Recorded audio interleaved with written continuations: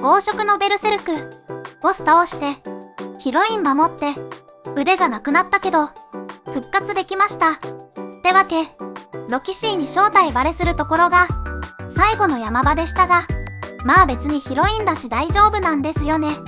あとは大体このアニメに求められることは、大体合ってた感じでした。以上、黄色のベルセルクのお話でした。